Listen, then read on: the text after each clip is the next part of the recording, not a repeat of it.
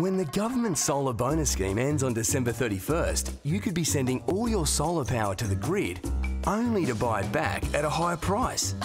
Instead of wasting your solar, you can now store the excess energy in a revolutionary BYD solar battery, and your power bills will all but disappear.